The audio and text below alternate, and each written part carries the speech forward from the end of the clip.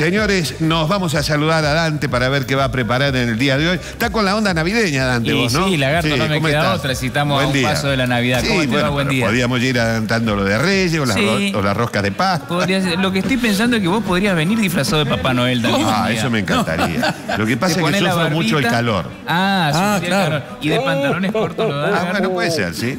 Sí. Así hacemos un Papá Noel más. Papá Noel en malla. Un papatero.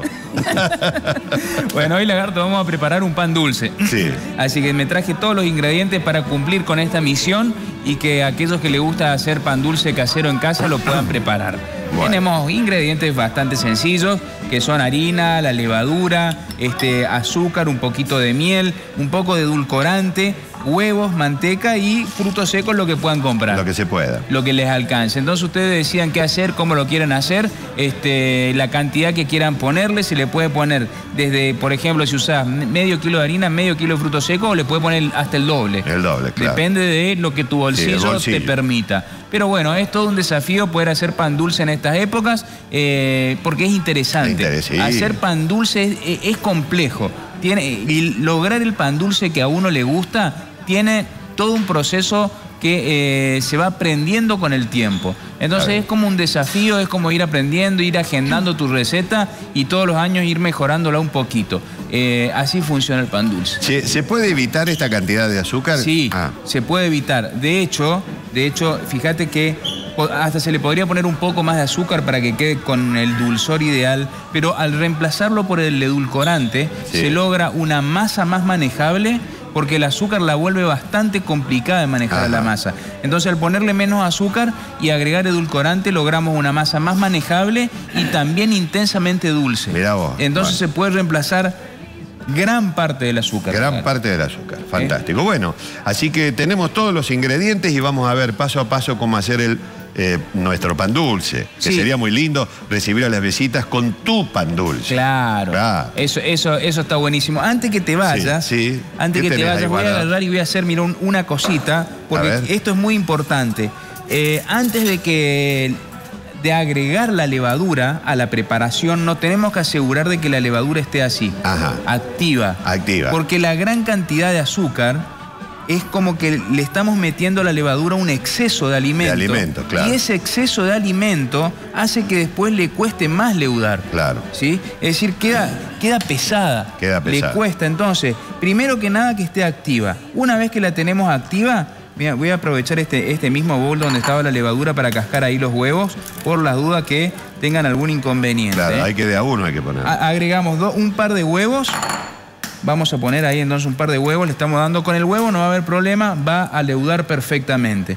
Ahora le vamos a poner, mira, un poco de miel, Miel. que con esta cantidad tampoco va a tener inconveniente, pero ahora sí le vamos a incorporar azúcar. Y Ah. esta cantidad de azúcar es la que va a complicar después el proceso de leudado. Entonces ponemos este azúcar y lo que hacemos ahora es mezclar y vamos a dejar que la levadura ya empiece a, a comer esta, esta- Alimentarse este del azúcar, claro. Alimentarse, a mantenerse ahí viva y después eso va a hacer que sea un poquito más ágil el proceso de Ah. fermentación de nuestro Esto hay que hacerlo antes entonces. Esto es lo ideal, por eso quería hacerlo ahora. Muy bien, y ya dejamos acá que la levadura siga activándose, le va a costar, como te digo, y después vamos a pasar al amasijo, pero ya para eso yo te espero a vos. Bueno, vengo en un ratito, Dante. Gracias, eh, muy amable. A Vamos. Cipsa. Sí, con Cipsa presentamos el pan dulce de la mañana. Sí, señor. Bueno, mira, Lagarto, tenemos por un lado la mezcla que habíamos hecho Sí. de levadura, huevo, azúcar. Fíjate cómo esto sigue acá fermentando. ¿eh? La levadura está viva. Está trabajando. Más allá de que con la cantidad de azúcar, como te decía, le cuesta después, porque la masa también se pone muy pesada, le cuesta leudar. Este, tenemos una levadura que está viva y que seguro que nos va a leudar, que es Claro. lo que importa. Va a llevar más tiempo, pero va a leudar.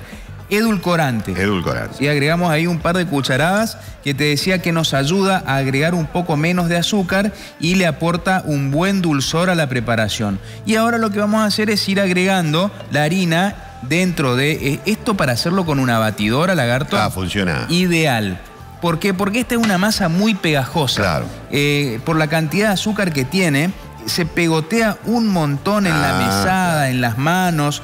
Entonces es compleja de trabajarla. Por eso te digo que el pan dulce tiene sus secretos y que año a año, a medida que lo vas haciendo, le vas develando Claro. sus secretos para que se acomode mejor al paladar de cada Claro. uno. Una vez que tenemos estos ingredientes mezclados, vamos a amasarlo un poquito hasta obtener una masa. Mira, yo tengo una acá lista. Ah, tenés una lista ahí. Porque quiero mostrarte un poquito mejor el proceso que muchas veces los dejo a medio mostrar Claro. y no se entiende Queda bien. media ¿ves? durita. Ahí ya está, me voy a sacar el reloj, lagarto, que me había olvidado de sacar. Así podemos amasar tranquilo. Sacamos entonces nuestra masa de este recipiente. Fíjate que la levadura ya está, ya está ahí trabajando. Ya está trabajando. Sin embargo, como te decía, es una masa pegajosa, ¿ves? Una, una masa firme, eh, bastante dura, que todavía no le agregamos la manteca, Ah. ¿ves? Pero está linda la masa, mira qué linda textura tiene, ¿ves? ¿Querés tocarla, lagarto? Sí, ¿Se puede Sí, decir? sí, sí, tocarla. Hola. Masita, ¿cómo Ah. estás?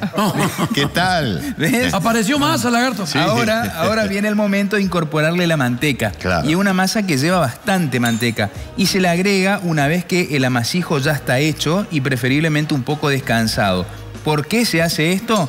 Porque si se le incorporamos desde el principio, el gluten no se desarrolla tan bien Claro. y después tenemos una masa que no tiene una buena textura. Entonces ahora hacemos un enchastre, podríamos decir. Por eso te decía, si tenés La- una la- amasadora, la- Lo haces sin problema. o una batidora buena, agarrás y metés ahí la masa y lo vas haciendo. Esto hay que amasar hasta integrar bien. Esta es la técnica del pan brioche, lagarto, ¿eh?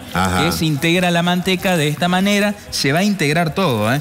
Vos fíjate que ahora parece que estoy haciendo este, algún trabajo casi imposible, Sí. pero la manteca se va a terminar integrando completamente a nuestra masa y vamos a lograr tener una masa con toda la manteca este, dándole sabor y sobre todo aportando mucha humedad. Claro. Que eso es lo más importante. ¿eh? Bueno, esto, mirá, yo ahora me tengo que quedar acá amasando. Después voy a dejar descansar esta masa y una vez que logre eso, ya le vamos a incorporar todos los frutos Todo- que tengo acá al costado. Pero antes de irte, mira, me Sí. dieron acá un papelito porque están cumpliendo 26 años de casado. Oh, Maulini y Roberto. Malvina y A Roberto. Malvina y Roberto. Así que bueno, Ah, le muy mandamos un saludo a, los- a- a los- a la pareja. Muy bien, 26 años, hay que aguantar, ¿no? Gracias, sí, muy bien. Bueno, bueno, Dante, ¡uy, qué pinta que tiene este pan dulce! está terminado Qué ricor. el método de la placa, ¿no? Pero yo no sé si está saliendo el micrófono de Dante. Fíjate ¿Por ahí qué que toca, lagarto? No. Ahí Qué está. ruido que hace eso, Sí, eh. la llave. Ahí está. A ver, espera, no, no. A ver. ¿Está saliendo? No, no está saliendo. A ver, a ver, espera, espera que le acercamos un micrófono en vivo y en directo. A ver, pasa Sí. nomás. ¿Pasas? Ya lo vamos a arreglar para eso. Eh, tenemos Para eso está ahí Lucho. 20 ahí. Parece- No, sí va a arrancar en un ratito. Además, No, te, te arranca, voy arranca. pidiendo, guardame un pedacito Pero cómo no. para o un pedacito y medio, porque hay una productora que dice que quiere probarlo, que lo va a hacer en la Muy casa. bien. Ni bien, ni bien pueda, Dante, así que me reserva. Estamos cambiando ya el micrófono, esto se cambia rápidamente.